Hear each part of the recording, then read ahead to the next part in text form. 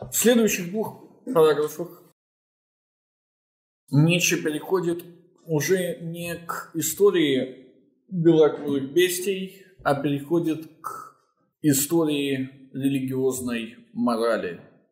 То есть к отношению жрецов с миром. Параграф 7 посвящен иудаизму, параграф 8 посвящен христианству. Угу. Вы угадали уже, с какой легкостью жреческий способ оценки может ответвиться от рыцарски-аристократического и вырасти затем в его противоположность? Да, вы видите, эта история, история морали – это очень закрученная вещь. Мораль жрецов становится полной противоположностью морали господ, хотя жрецы полностью вышли из господ.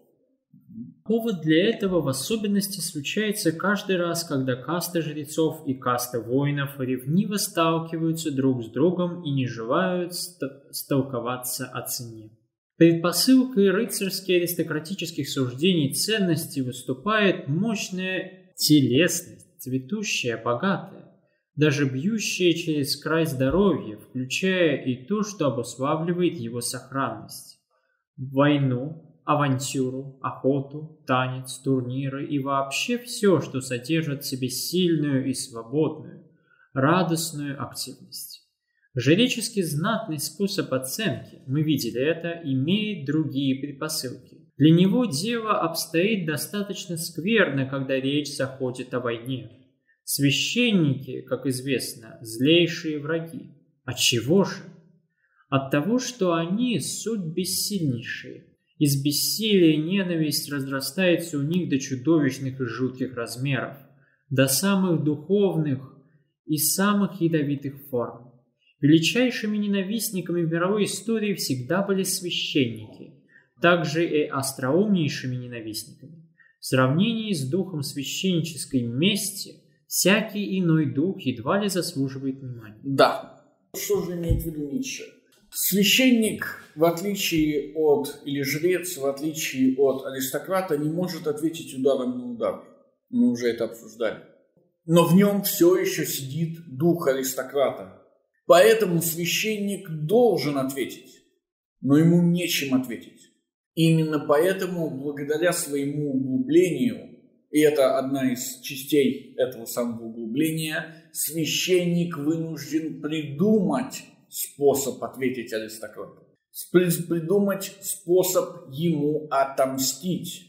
И если ему нельзя отомстить физически, то ему нужно отомстить духовно.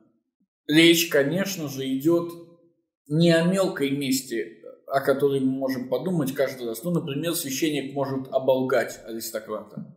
Речь идет о глобальной мести. Священник превращает оценку ценностей, в которой существует аристократ, в ее противоположность, тем самым лишая аристократа места в этом мире. Помните, к чему мы пришли сегодня? К демократии нет никаких господ, есть только рабы. Кругом неудавшиеся, нет физически здоровых.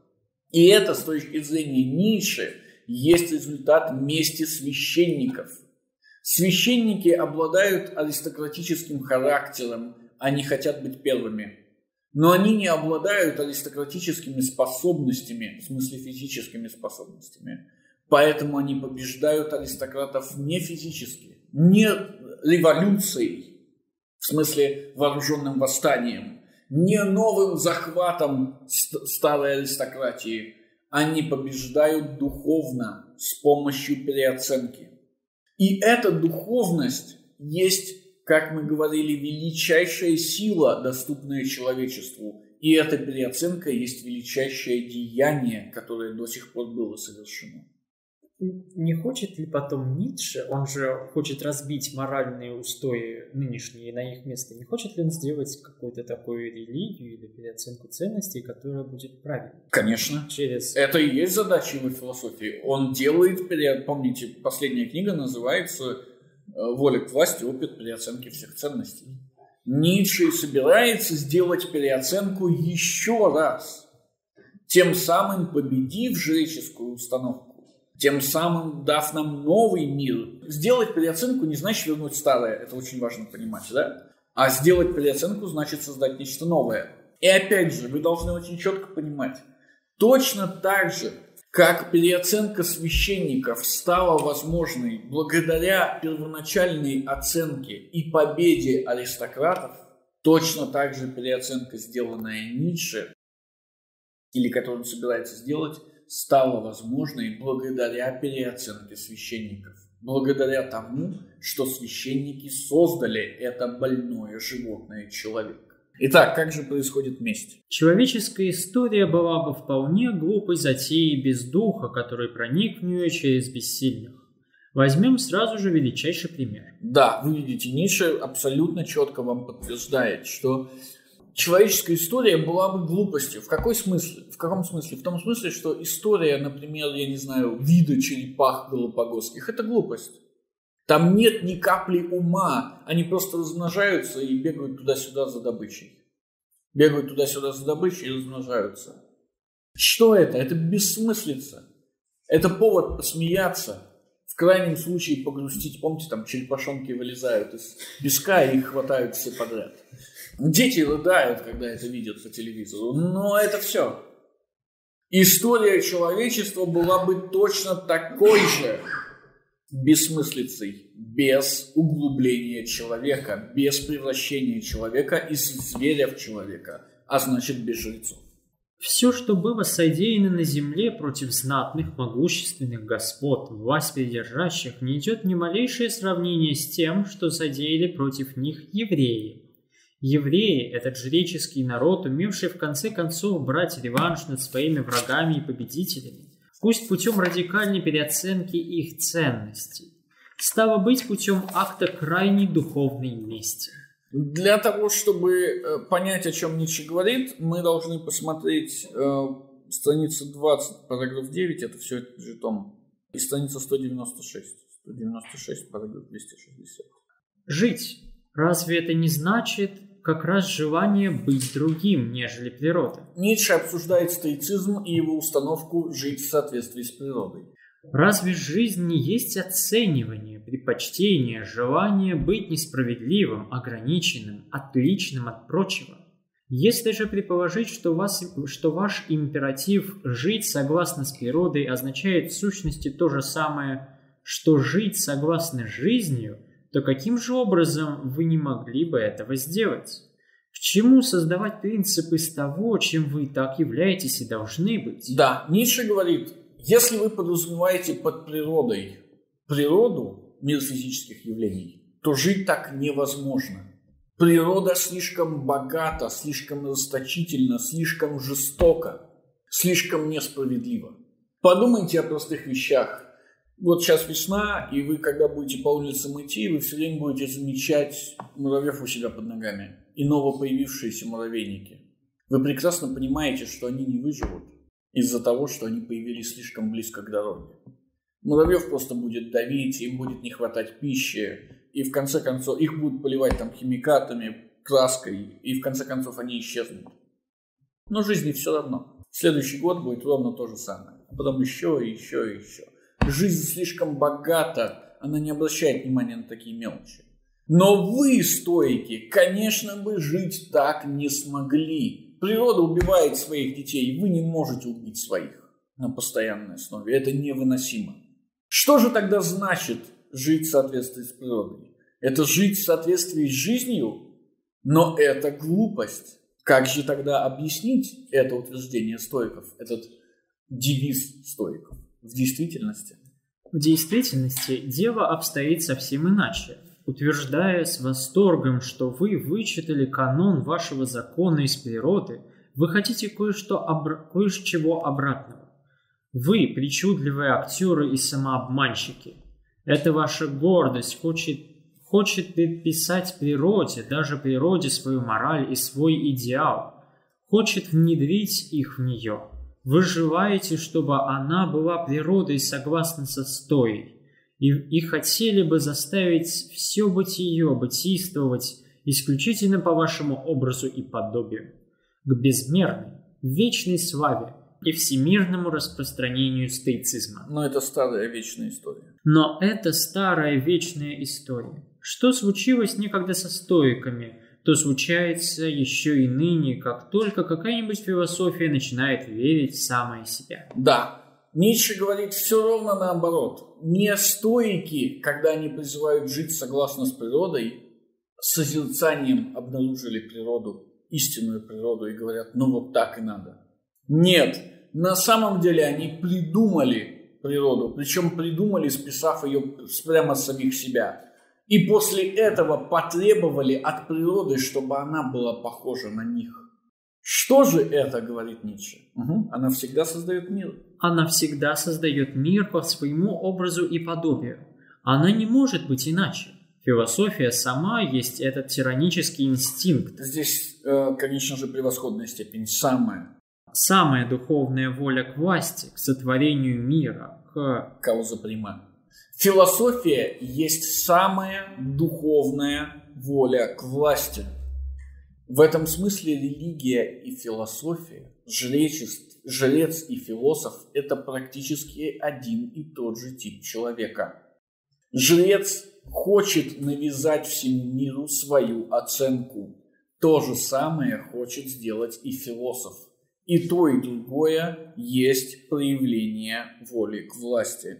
Да, страница 196, параграф 260. Но более всего мораль людей, властвующих чужда и тягостна современному вкусу из-за строгости своего принципа, что обязанности существуют только по отношению к себе подобным – а по отношению к существам более низкого ранга, по отношению ко всему чуждому можно поступать по благоусмотрению или по влечению сердца. Во всяком случае, находясь по ту сторону добра и зла, сюда уже не может относиться сострадание и тому подобное. Долг долгой благодарности и долгой мести, способность к ним, то и другое лишь среди равных.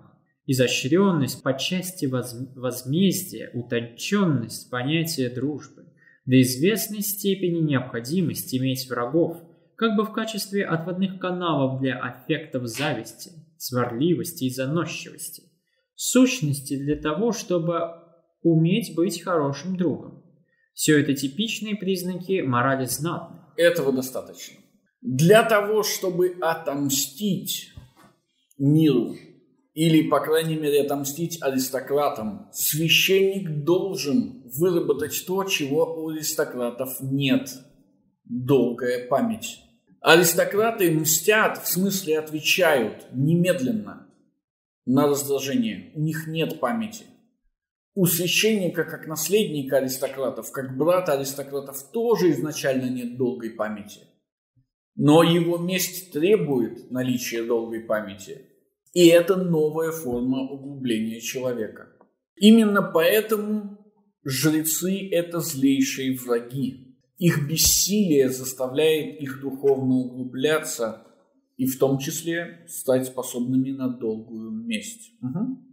Все, что было содеяно на земле против знатных, могущественных господ, власть придержащих, не идет ни в малейшее сравнение с тем, что содеяли против них евреи. Евреи – этот жреческий народ, умевший в конце концов брать реванш над своими врагами и победителями лишь путем радикальной переоценки их ценностей, стало быть путем акта крайней духовной мести. Да, конечно же, когда Ницше говорит о евреях, мы сразу должны понимать, с кем он их сталкивает. Кто эти аристократы, которым евреи мстят? Рим. Да, Рим против Иудеи.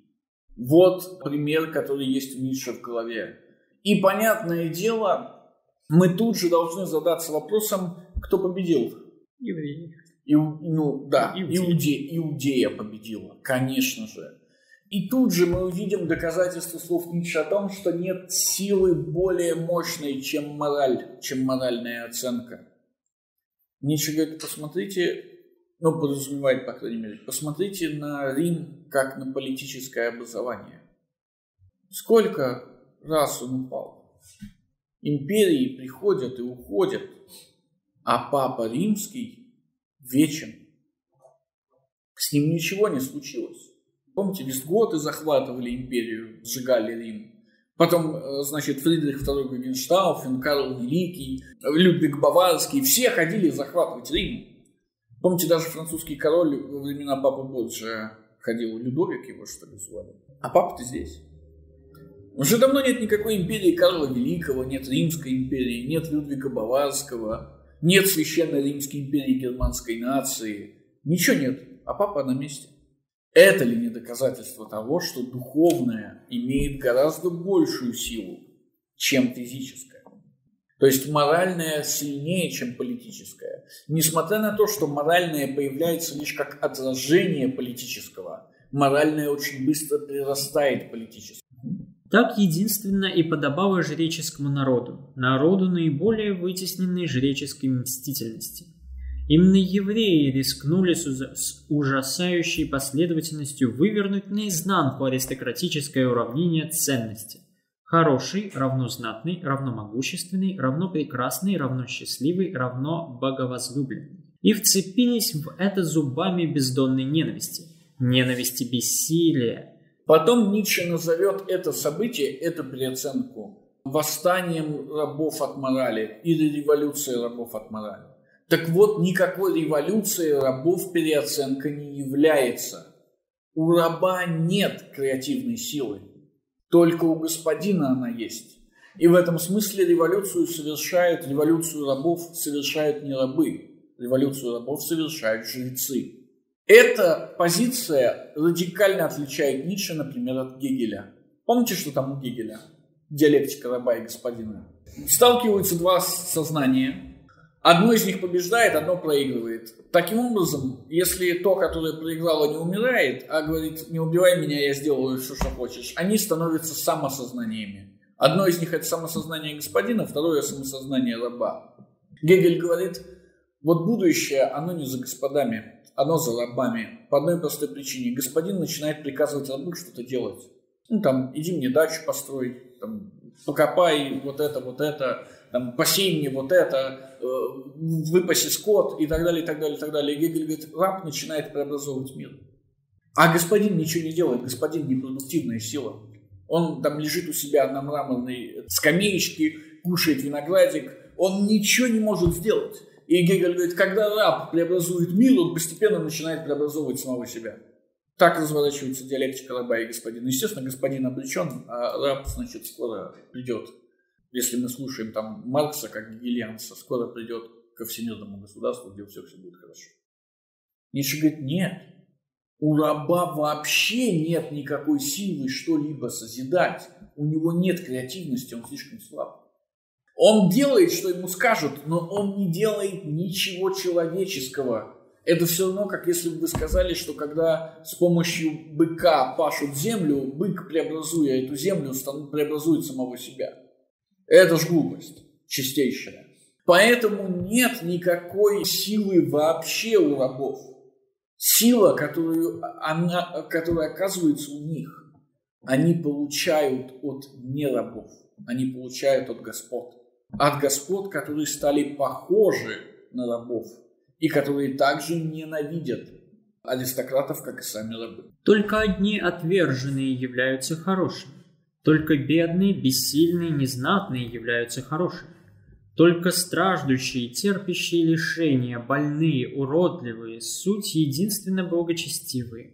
Именно набожные... Единственно набожные. Единственно набожные им только и принадлежит блаженство.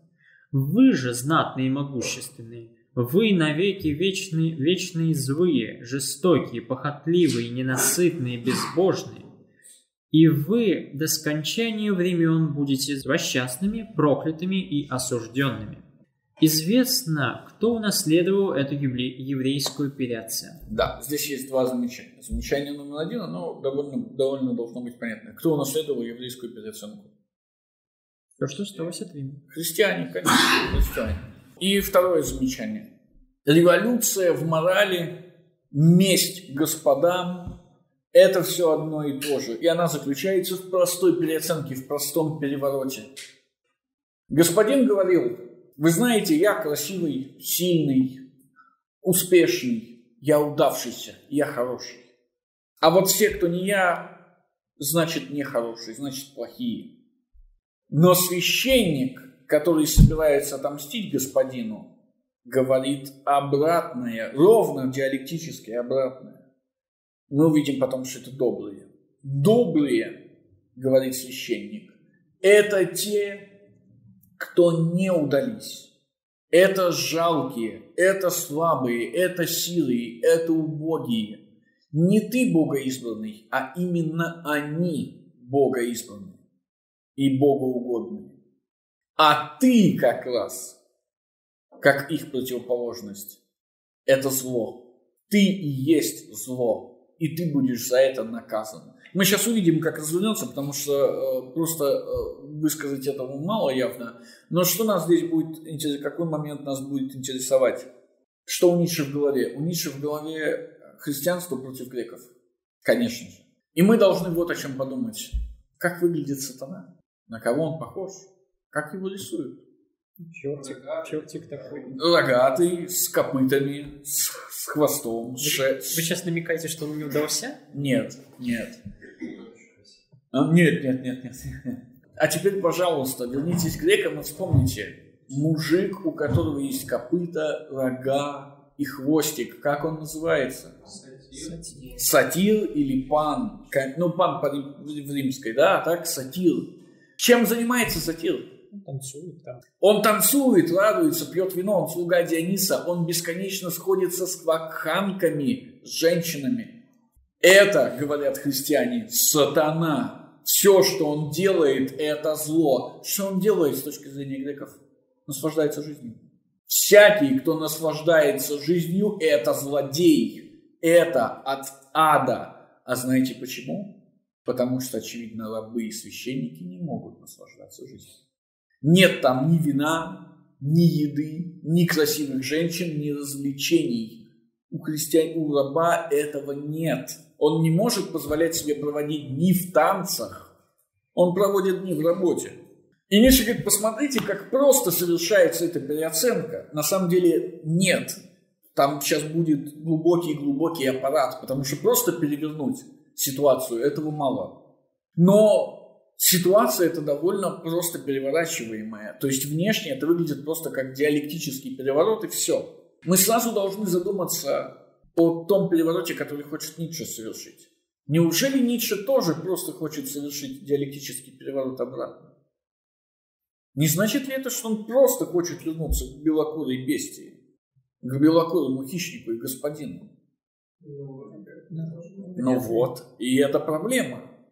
Хотя старая переоценка выглядит как очень простая штука, как диалектический переворот, но на самом деле является сложной. Неужели новая переоценка – это тоже просто диалектический переворот? То есть неужели у нас есть все карты на руках?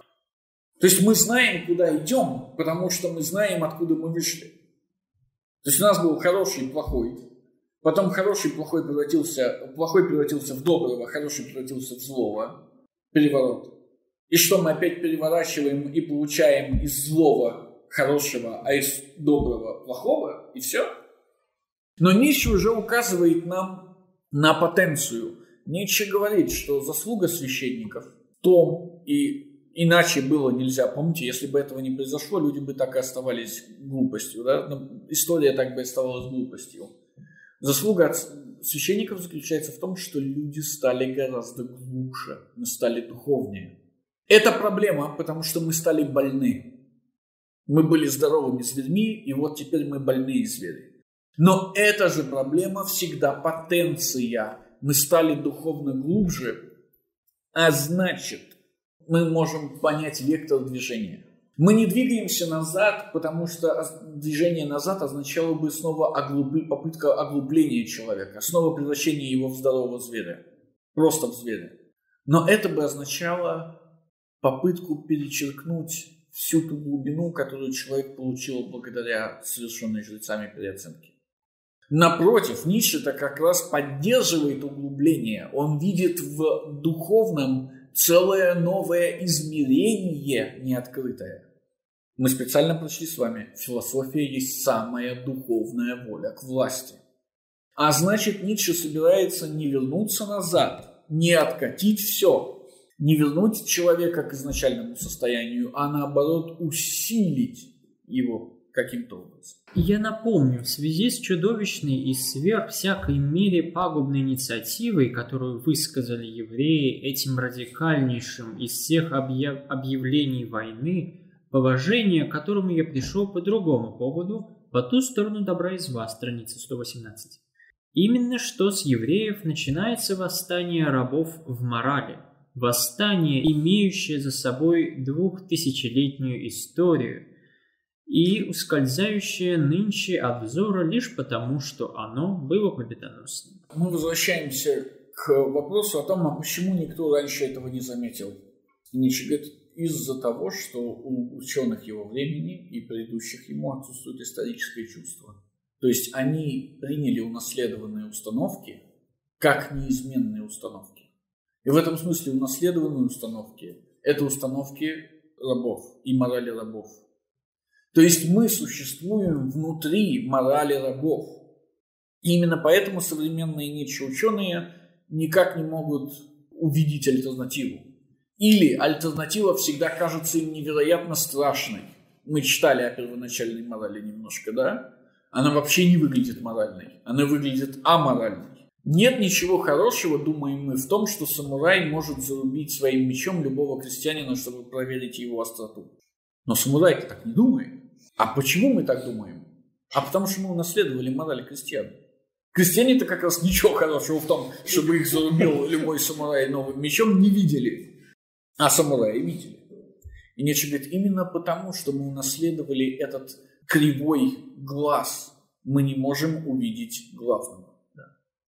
Ну, у меня вопрос такой, то есть получается, в некотором смысле новая переоценка ценности, она будет уже гораздо сложнее, чем предыдущая. Мы увидим, насколько сложной будет предыдущая. То есть у нее диалектический простой выход. Механизм сложный, а выход простой. Теперь и простого выхода тоже нет. И он также писал о том, что процесс даже предыдущей переоценки, он был очень длительный, и несмотря на то, что на кажущуюся простоту, тоже сложный. Можем ли мы в этом свете воспринимать те процессы, которые происходят сейчас, начало переоценки ценностей? Нет, я бы так не сказал. Или, по крайней мере, позвольте мне сказать, что это попытка бы увидеть здесь переоценку практически недостижима. То есть крайне сложно за... крайне сложно найти элементы переоценки и крайне сложно сказать, насколько сознательными или осознанными, осознанными они являются. Скорее, в современном мире вы найдете смешение культур, смешение оценок, чем какую-то четкую переоценку. Или если уж найдете, то это будет та же самая христианская переоценка. Ну, например, когда э, страны, не имеющие европейской культуры, получают европейские установки на демократизацию. Не, я скажем. все еще на тему вот, э, философии постмодернистов. Нет, философия постмодернистов не переоценка. С этим я согласиться не могу. М? Но вы не понимаете этого. У вас нет глаз для того, чему потребовалось две тысячи лет, дабы прийти к победе. Здесь нечему удивляться. Все долгосрочные вещи трудно увидеть, трудно их обозреть. Да, но здесь надо согласиться с вами с тем, что, конечно же, процесс переоценки не может быть мгновенным. То есть со смерти Ницше прошло-то всего 120 лет. Ну, там чуть-чуть, чуть-чуть побольше.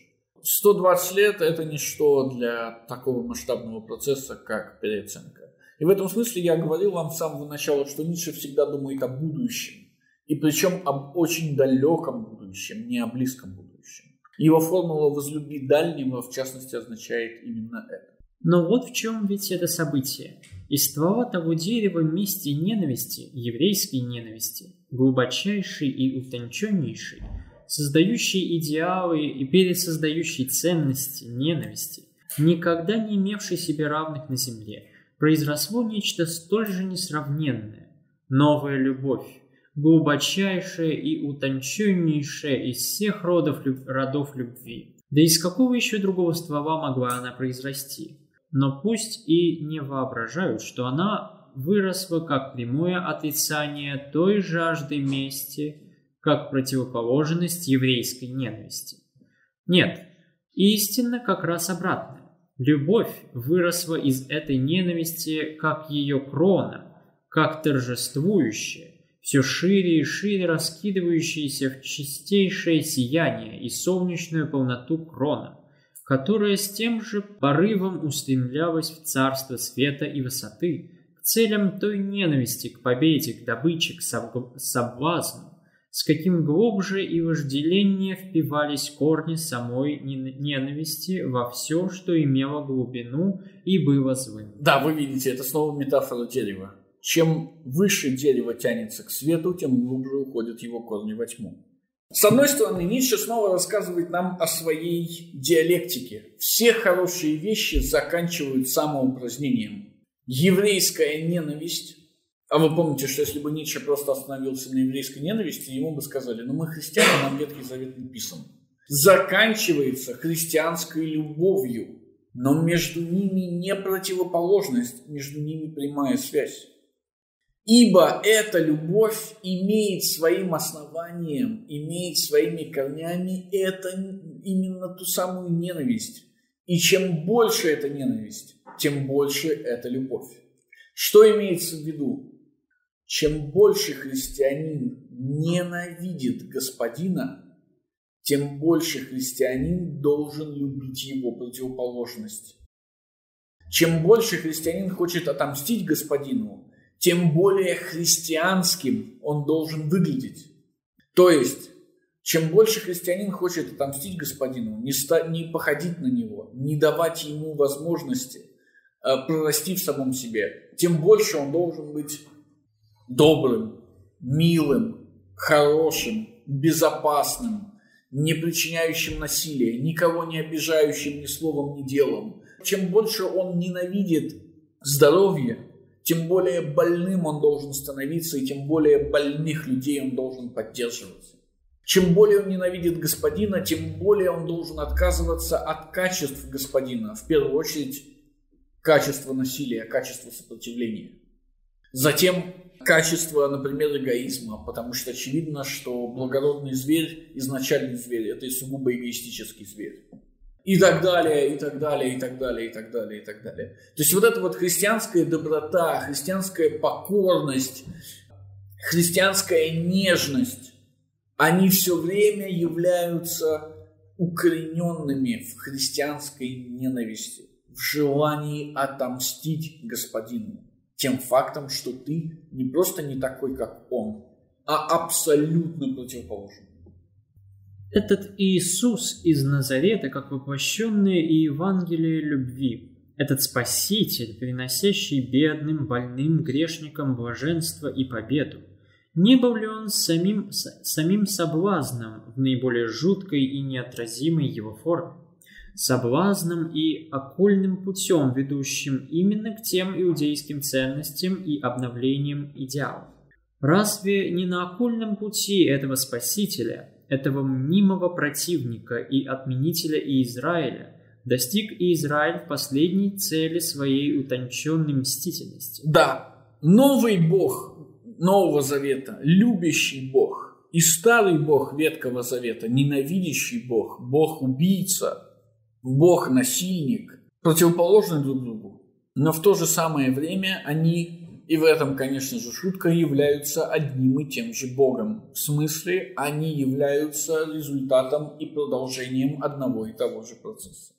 Разве не входит в тайное черное искусство доподлинно большой политики мести, дальнозоркой, подземной, медленно настигающей и предусмотрительной в, расчетах мести?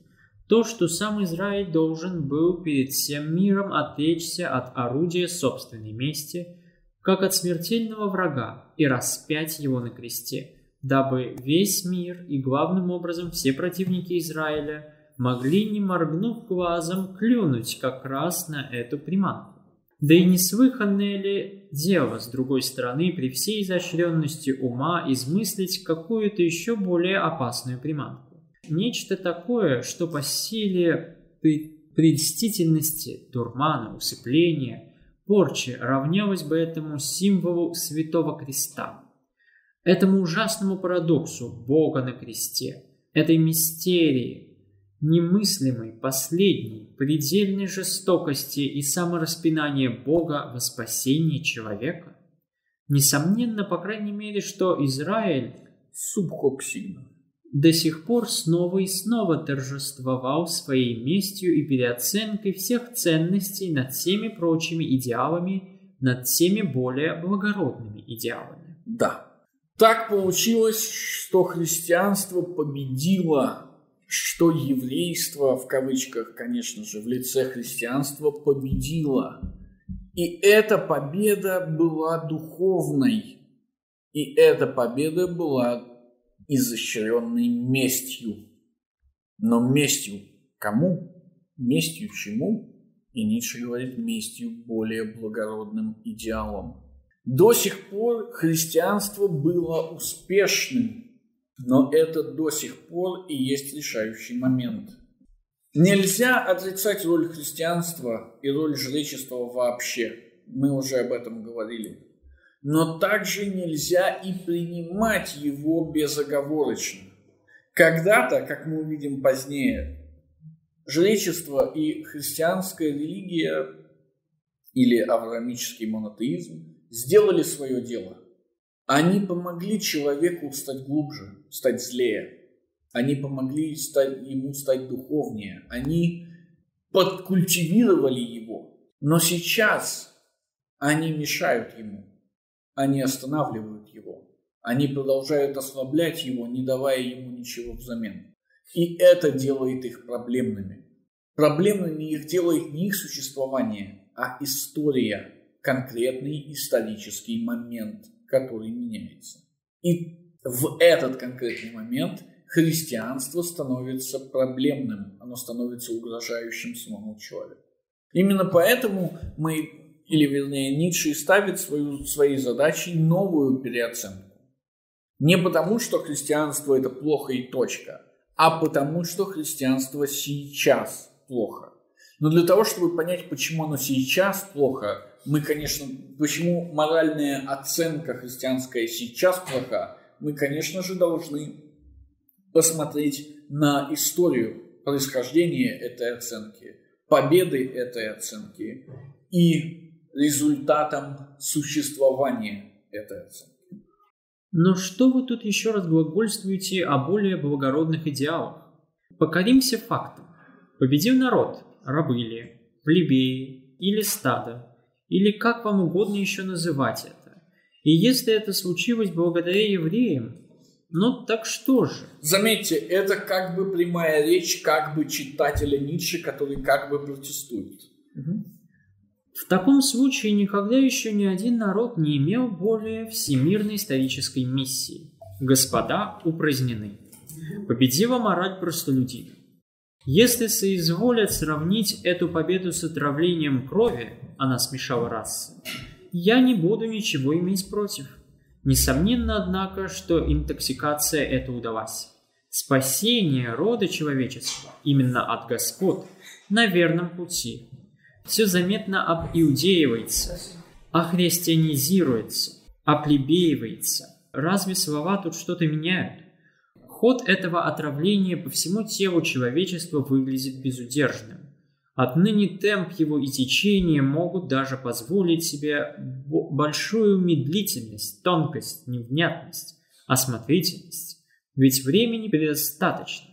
Остается ли у церкви в этой перспективе необходимая задача вообще права на существование? Можно ли обойтись без нее? Не похоже ли, что она скорее тормозит и задерживает этот, ход вместо того, чтобы ускорять его? Что ж, в этом в этом-то и могла быть ее полезность. Несомненно, что она постепенно делается чем-то грубым и мужицким, что перечит более деликатному, действительно современному вкусу. Да, это прямая речь некой, некоего противника. Противник говорит следующее. Ну, церковь победила и победила. Что уж тут поделать? Нет никаких более благородных идеалов, и нет никаких больше альтернативных идеалов вообще. Но тут же этот противник задается более глубоким вопросом. Но если христианский, христианский идеал победил, в смысле кругом только демократизация, плебеизация, массовизация и так далее, и так далее, и тому подобное, а зачем нам церковь-то вообще? на что Ницше намекает? Где, в чьей среде рождается в, 9, в конце 19-го, начале 20 века атеизм? В аристократии? Нет. Аристократия за, за веру царя и отечества. И те, кто? Среди социалистов и коммунистов, конечно. Социалисты и коммунисты говорят, дело церкви, дело плебейства, дело рабов, отличное дело. Только церковь медлит. Церковь нам не дает продвинуть это дело к его финалу, к коммунизму, к анархизму, к чему угодно. Поэтому-то от церкви надо избавиться. Поэтому-то с церковью надо покончить. Она больше не двигатель прогресса, она его тормоз. Не следовало бы ей по меньшей мере стать чуточку более рафинированной. Нынче она отталкивает в большей степени, чем соблазняет. Кто бы из нас стал свободным умом, не будь церкви. Нам противна церковь, а не ее яд. Не считая церкви, и мы любим яд. Таков эпилог свободного ума к моей, к моей речи. Да, вы видите, это, это все речь свобод, некоего свободного ума в кавычках. Свободный ум в кавычках, ну, понятное дело, это те, кто считают себя свободными умами. То есть, собственно, социалисты и коммунисты. Итак, Ницше задается двумя вопросами. Вопрос номер один – куда ведет жреческая переоценка? И вопрос номер два – если жреческая переоценка идет супер успешно, то зачем нужны еще сами жрецы и какова их роль? На второй вопрос Ницше ответит в последнем рассмотрении. Честного животного, каким, каковым он с избытком засвидетельствовал себя. К тому же демократа. Он слушал меня до сих пор и не вытерпел свыше меня молчащим. Мне же в этом месте есть о чем молчать. Угу. Восстание рабов в морали начинается с того, что ресентимент сам становится творческим и порождает ценности. Вы знаете, что такое ресентимент. Ницше, во-первых, использует французское слово, потому что нет подходящего в немецком языке. В Заратустре ресентимент называется немного иначе и гораздо более понятнее. Он называется дух мщения. Ресентимент – это и есть определенная черта характера или характер в целом характеризующийся или отличающийся своей мстительностью. Мстительностью означает слабостью, несомненно. Здесь вам поможет тот же Достоевский с его записками из подполья или Заратустра с его речью об обломках, которые мы обязательно почитаем. Итак, восстание рабов от морали начинается с того, что месть, а как вы помните, месть священников – становится творческой и порождает ценности, порождает переоценку. Ресентимент таких существ, которые не способны к действительной реакции, реакции, выразившейся бы в поступке, и которые вознаграждают себя воображаемой местью. В то время как всякая благородная мораль произрастает из торжествующего «да» сказанному самому себе, мораль рабов сначала говорит «нет» внешнему, иному, не себе. Это нет и оказывается ее творческим деянием. Этот поворот оценивающего взгляда – это необходимое обращение вовне, вместо обращения к самому себе, как раз неотъемлем от ресентимента. Мораль рабов всегда нуждается э, для своего возникновения прежде всего в противостоящем, вовне и внешнем мире, нуждается, говоря физиологическим языком, во внешних раздражителях, чтобы вообще действовать.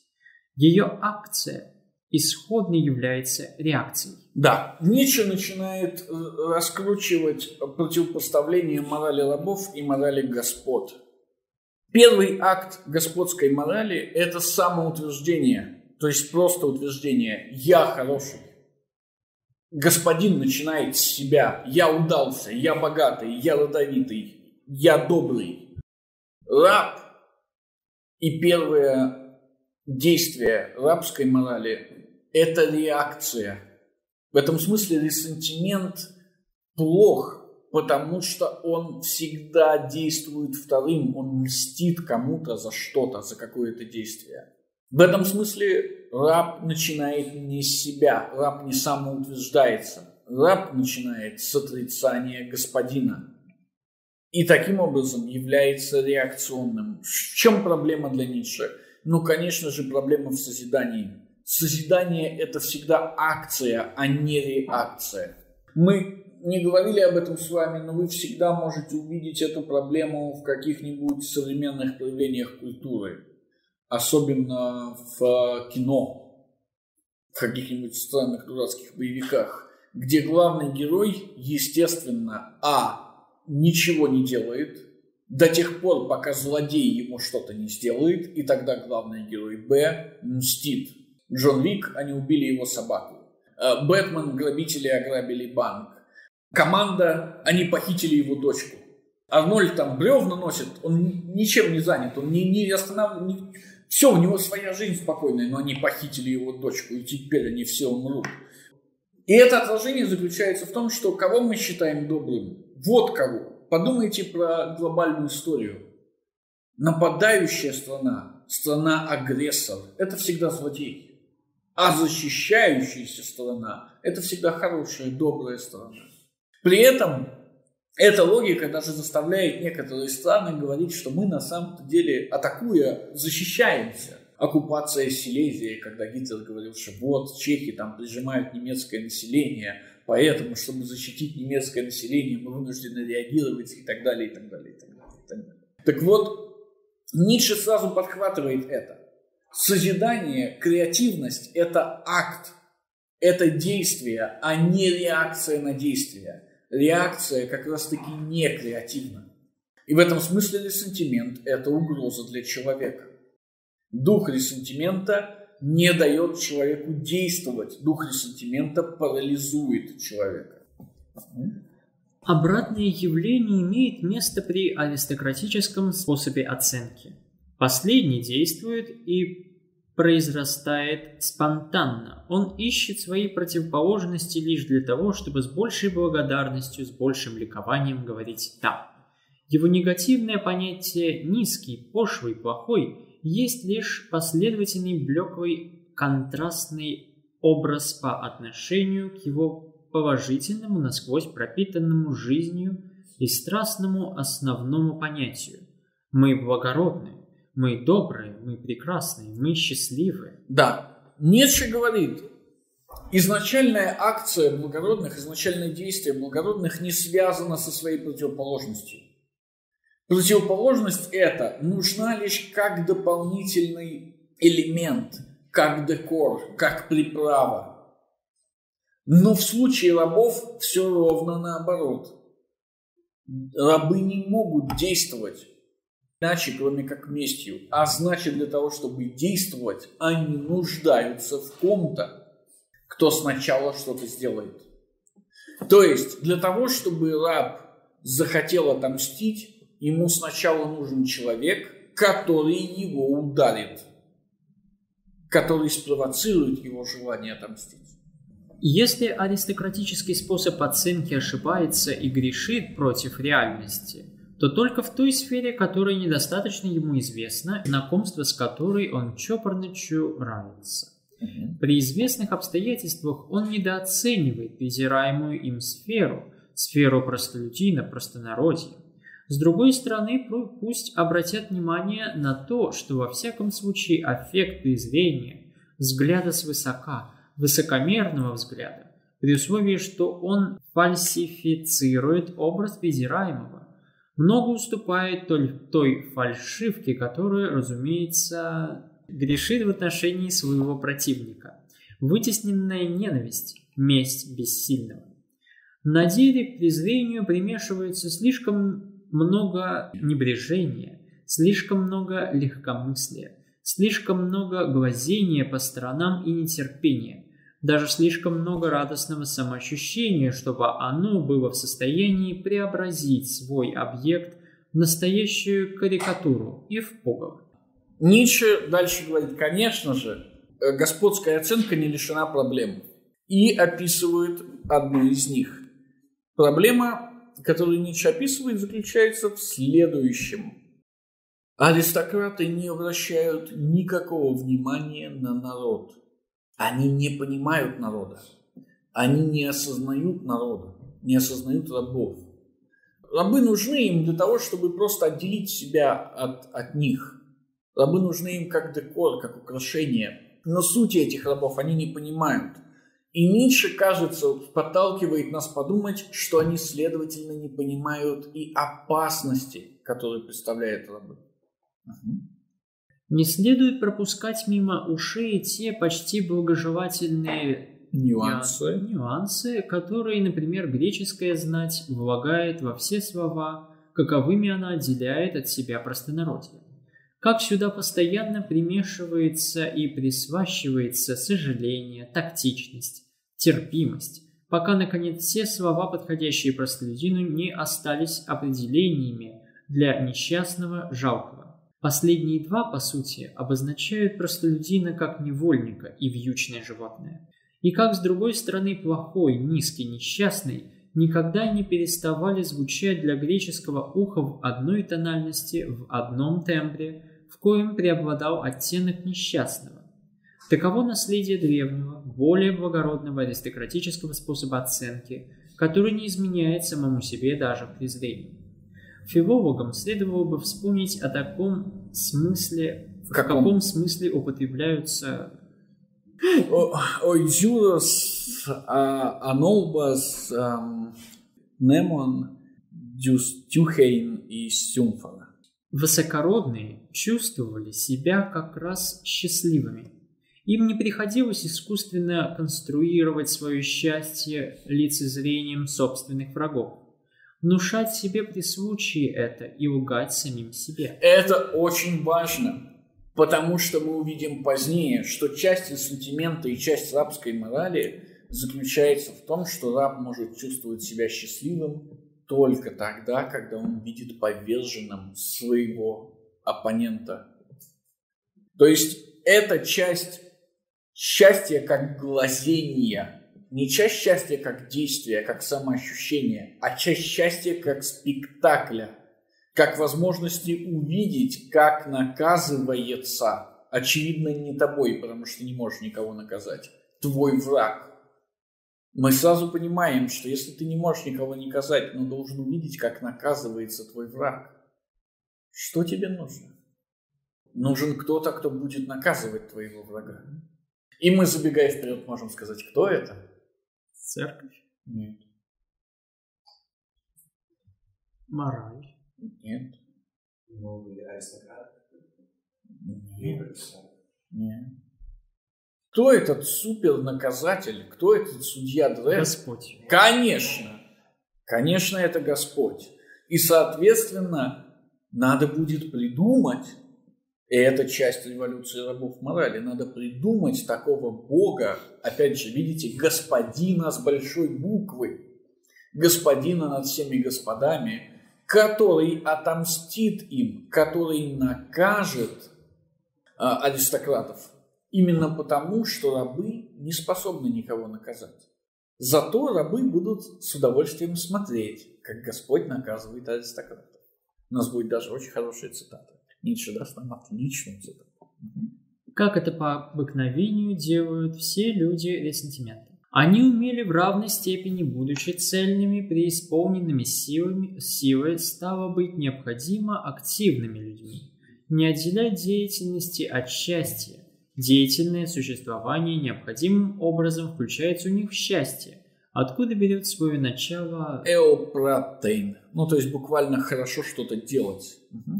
Все это в решительной противоположности к счастью на ступени бессильных, угнетенных, гноящихся ядовитыми и враждебными чувствами людей, у которых оно уступает, в сущности как наркоз, усыпление, покой, согласие, шаббат, передышка души и подтягивание конечностей.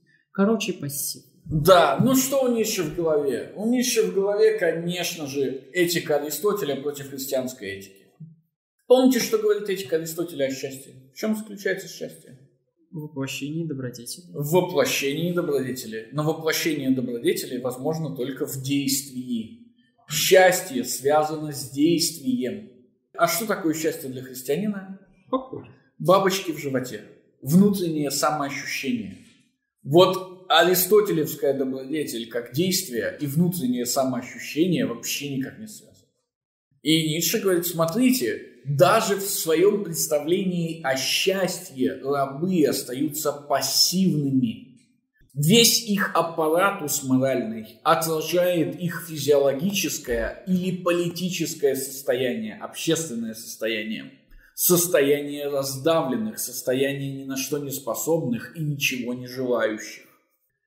В то время как благородный человек полон доверия и открытости по отношению к себе, Геннайос. Высокородный подчеркивает нюанс откровенности и, пожалуй, даже наивности. Человек ресентимента лишен всякой откровенности, наивности, честности и прямоты по отношению к самому себе. Его душа косит, ум его любит укрытие, лазейки и задние двери. Все скрытое при привлекает его как его мир, его безопасность, его усвата.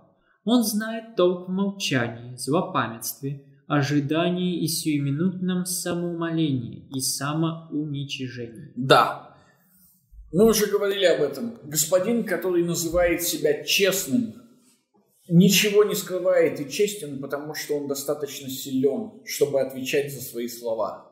Но раб недостаточно силен, чтобы отвечать за свои слова, поэтому он не может быть честным даже перед самим собой он все время должен изворачиваться как перед своим господином, так и перед самим собой. Мы потом поймем, каким образом это происходит. Решающий момент здесь один. Раб все время задается одним и тем же вопросом. Как так получилось, что я раб? И, соответственно, он должен найти ответ на этот вопрос, потому что если он не найдет его, его ждет смерть. Чтобы жить, он должен обмануть себя каким-то образом. Потому что жить, жить просто рабом не получится. То есть Ницше говорит, есть физиологическая ситуация. Она такая. Есть слабые люди, есть сильные люди. Есть удавшиеся люди и неудавшиеся люди. И естественно, если ты слабый и неудавшийся, тебя нагнули, ты раб. А если ты сильный и удавшийся, ты нагнул, ты молодец. Но для раба это неприемлемое объяснение, потому что это не объяснение, это просто факт.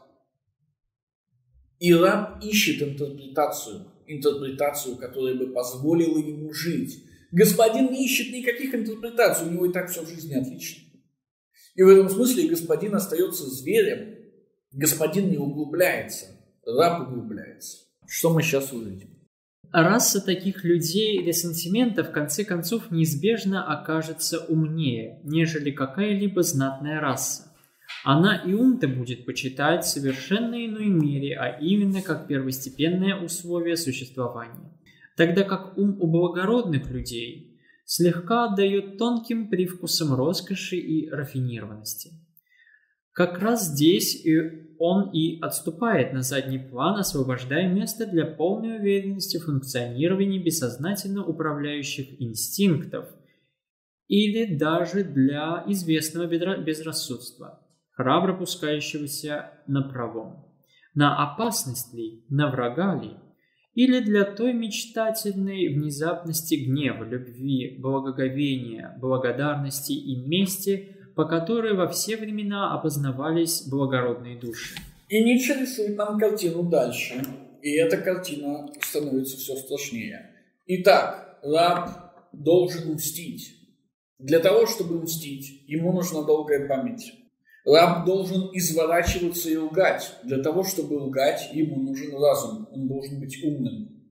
И далее происходит целая культивация подобных качеств. То есть целая история культивации. Для рабов разум становится всем, потому что разум – это то, что позволяет им выжить. В то время как для господ разум не играет существенной роли. У них и так все хорошо. Им не надо становиться умнее, изворотливее, иметь долгую память. Они так успешны. Но именно это то, что углубляет, делает умнее и духовнее, в то же самое время дает рабам рычаг для победы. И у Ницше перед глазами, естественно, величайший пример на свете – это пример Сократа. Сократ и есть это безродное, отвратительное полуживотное, ну, в смысле полураб, который уничтожает греческую культуру, культуру господ, культуру победителей с помощью разума. Греки до Сократа, успешные греки-аристократы, существуют на инстинктах. Они не нуждаются в объяснениях, они не задаются вопросами, почему это хорошо, а это плохо. Откуда взялся этот обычай или этот обычай? Они живут полноценной жизнью. Сократ не может жить полноценной жизнью. И что делает Сократ? Когда он понимает, что не может жить полноценной жизнью, какой живут лучшие люди. Он начинает опрокидывать, он начинает вопрошать полноценность этой жизни. Он начинает ходить к мальчикам и говорить, а вы уверены, что главное в жизни это деньги, успех, родовитость, красивая жена, а, военная слава? Почему вы не заботитесь о своей душе? Разве душа – это не главное, говорит Сократ на рыночной площади? Но как же заботиться о душе, спрашивают его те самые мальчики, которые, естественно, заинтересованы в том, чтобы стать лучшими даже в этом, потому что они и так уже богатые, родовитые и военно успешные. И он говорит им, как, как заботиться о душе. С помощью знания и добродетели, с помощью познания. Помните, знание и есть добродетели известная сократовская формула. Но знанием-то обладает только Сократ. Они-то не обладают знанием, их отцы не обладают знанием, их культура не обладает знанием, их наследие не обладает знанием, потому что как только Сократ прикасается к нему своим разумом, их культура гибнет, их наследие гибнет, их религия гибнет. Помните, э, допустим, Лахет и Никий? Никием знают, что такое мужество, потому что они есть мужественными. Мужественные. Сокол говорит, да вы же не знаете, что такое мужество.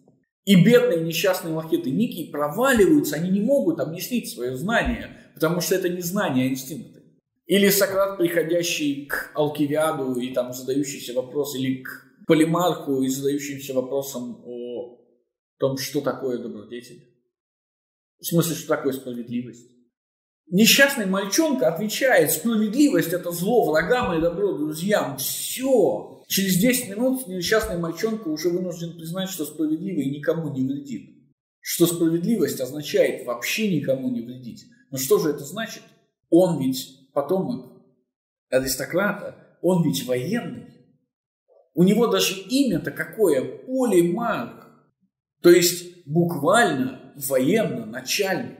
И он вынужден признать, что справедливость это никому не вредит. Вот с точки зрения Ницше, греческую культуру губит именно Сократ.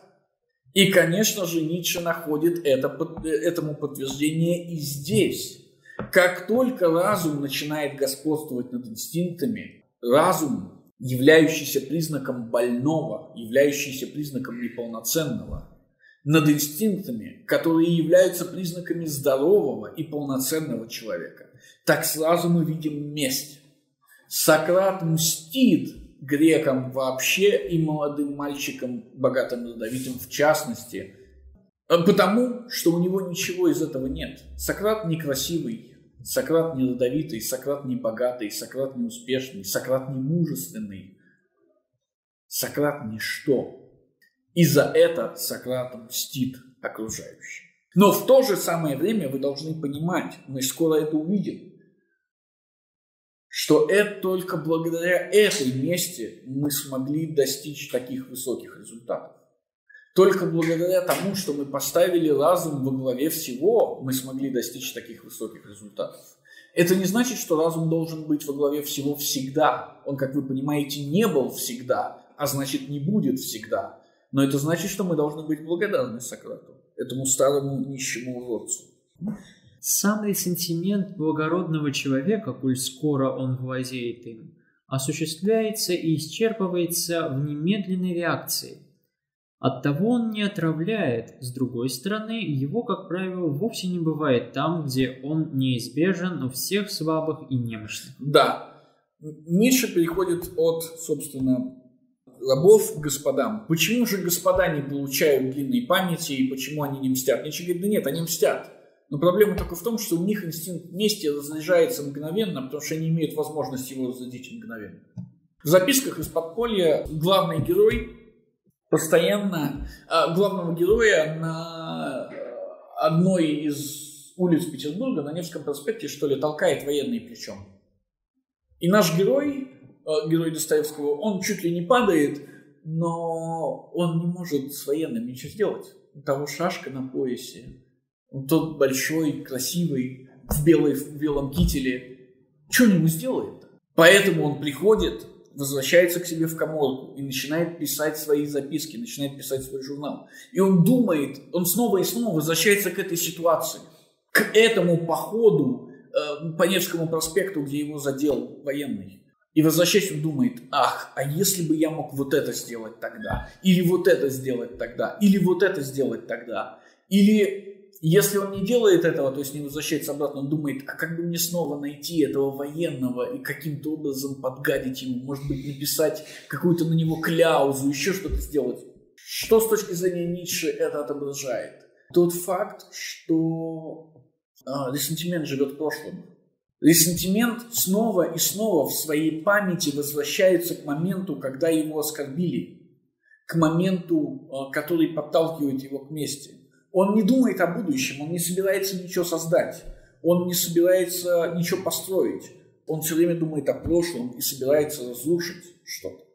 Именно потому, что здоровый человек, аристократ, немедленно может разрядить свою месть на того, кто его обидел. У него не появляется долгой памяти. Он продолжает существовать в забывчивости.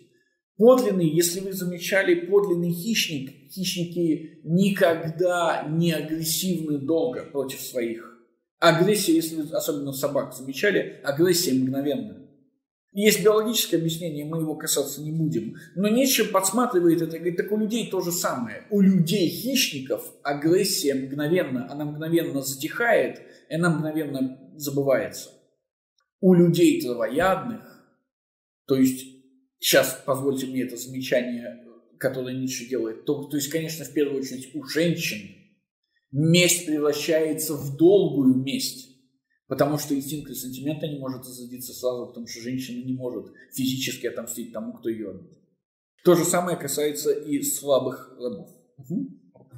Неумение долгое, всерьез, э, долгое время всерьез принимать своих врагов, свои злоключения, даже свои злодеяния. Таков признак крепких и цельных натур, в которых бьет через край пластическое, э, воспроизводящее, исцеляющее, а также стимулирующее забывчивость сила. Хороший пример этому в современном мире Мирабо, который был начисто лишен памяти на оскорбление и подлости в свой адрес, и который лишь от, от того не мог прощать, что забывал. Такой человек одним рывком стряхивает себя множество гадов, которые окапываются у других. Только здесь и возможно, допустив, что это вообще возможно на Земле, настоящая любовь к врагам своим. Как много уважения к своим врагам несет в себе благородный человек, а такое уважение оказывается уже мостом к любви. Он даже требует для себя своего врага как знака отличия, он и не выносит иного врага, кроме такого, в котором нечего презирать. Зато очень многое заслуживает уважения. Представьте же теперь себе врага, каким измышляет его человек ресентимента. Да, у господ, как мы уже говорили, в их моральной оценке нет привкуса морали.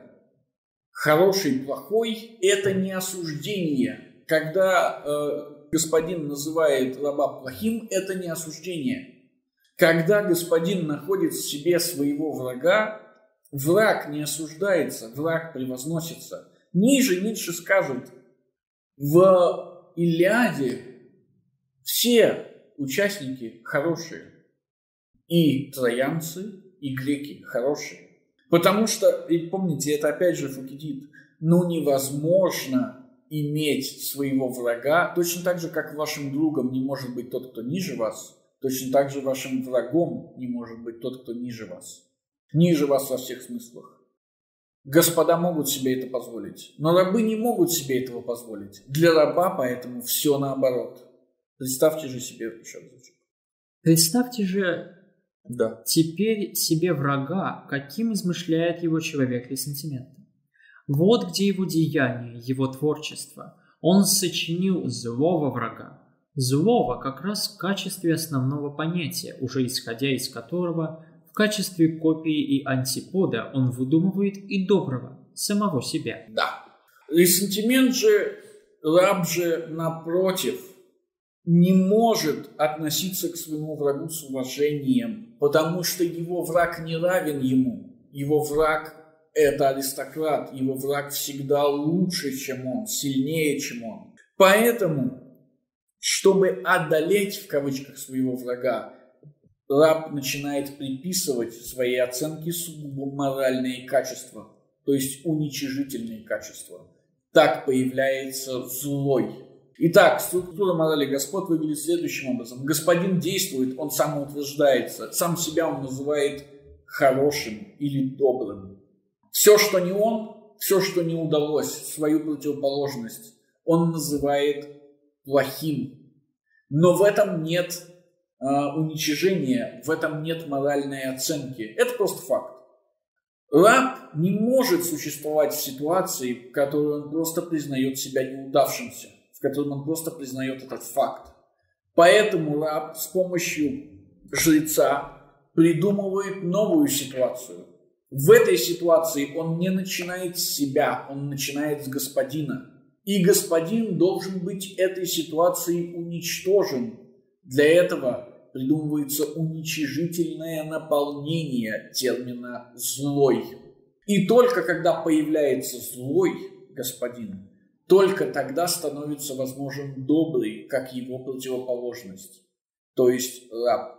Иными словами, раб возьмет все, что господин называет хорошим, все, чем он не является, потому что такой физиологический факт, и объявит это злым. И когда он объявит это злым, все, что было в нем плохого, физиологически плохого, немедленно станет добрым.